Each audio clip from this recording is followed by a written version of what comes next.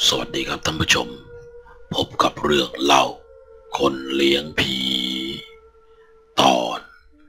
ท้าทายบ้านร้างผีสิงเรื่องนี้เป็นเรื่องของคุณต้นครับ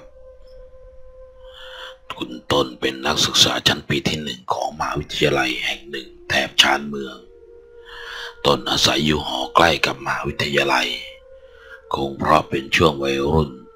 รักสนุก กลางคืนก็จะจับกลุ่ม ขับรถออกเที่ยวกับเพื่อนๆเป็นประจำตนเล่าว่า คืนหนึ่งหลังจากเที่ยวกลางคืน ก็เมากันพอสมควร ในวันนั้นไปกันสี่คน มีผมน้อง ตี กับแพร แฟนของตี ผมก็เสนอไอเดียขับรถไปสำรวจบ้านร้างกันต่อ เพ ราะจะมีบ้านอยู่หลังหนึ่งที่เป็นบ้านร้างที่ค่อนข้างมีคนพูดถึงเยอะ และพวกผมก็เคยขับรถผ่านกันไปอยู่บ่อย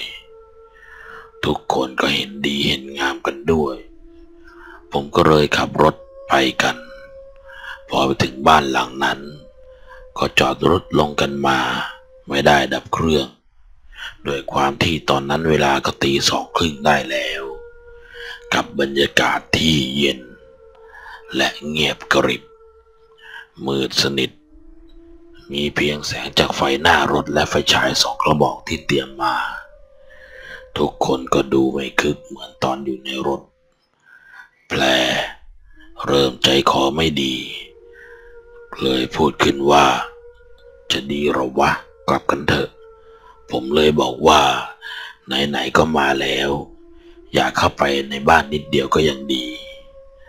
จากนั้นผมกับน้องก็เดินทางเดินผ่านทางเดิน ที่เต็มไปด้วยหญ้าคา เข้าไปที่ประตูด้านในบ้าน โดยที่มีตีกับแพร ก็เดินตามมาห่างๆ ผมบิดลูกบิดประตู แต่เปิดไม่ได้เพราะมันล็อกอยู่ จากนั้นน่องก็เดินอ้อมไปข้างตัวบ้าน เห็นมีกระจกหน้าต่างแตกอยู่ จึงส่องไฟฉายมองเข้าไปในบ้าน ตอนนั้นที่ผมเห็นคือน้องวิ่งหน้าตื่นกลับไปที่รถทันที ผมเลยอยากรู้ว่ามันไปเจออะไรเข้า จึงได้เดินไปดูที่หน้าต่างบ้านนั้น เมื่อส่องไฟ มองเข้าไป สิ่งที่ผมเห็นคือ ผู้หญิงในชุดคลุมทองสีขาว ผมยาวรุงรัง ยืนอยู่ตรงสุดห้อง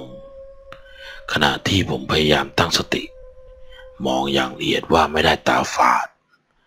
หน้าผู้หญิงคนนั้นก็พุ่งมาอยู่ตรงหน้า ผมแล้ว ผมร้องลั่น และวิ่งไปที่รถอย่างไม่คิดชีวิต ตีกับแพรก็ตกใจวิ่งตามผมมาทันที พอขึ้นรถ ผมออกตัวทันที แต่รถก็ไปได้ไม่ไกลก็ต้องติดขัด หยุดลง เหมือนติดอะไรที่ช่วงล่าง พวกผมรีบลงมาดู ปรากฏว่าที่ล้อมีเส้นผมยาวเป็นกอง เป็นก้อนพันล้อเต็มไปหมด พวกผมก็ต้องรีบดึงมันออกมา และก็ขึ้นรถไปต่อ เมื่อมาถึงใกล้ ๆ ทางออกจากซอย พวกผมทุกคนเห็นเหมือนกัน คือผู้หญิงผมยาวยืนหันข้างอยู่กลางถนน และค่อยๆหันหน้ามาทางเรา ตอนนั้น ผมตัดสินใจขับตรงผ่านร่างของเธอไปเลย โดยไม่เลี้ยวหลบ วันรุ่งขึ้นตอนเช้า พวกผมไปทำบุญที่วัดทันที และเราก็มาคุยถึงสิ่งที่เห็น แพรเล่าว่า ตอนที่จอดรถหน้าบ้านก่อนลงจากรถ แพรเห็นเป็นเงาผู้หญิงที่อยู่ที่หน้าต่างชั้นสอง แต่พอลงจากรถมองไปก็ไม่เห็นแล้ว และตอนที่ขับรถผ่านผู้หญิงคนนั้น แพรเห็นชัดเลยว่า เป็นเงาของเธอผ่านเข้ามาในรถและผ่านไป ตอนที่ได้ยินนั้น ทุกคนต่างก็ขนลุกกันใหญ่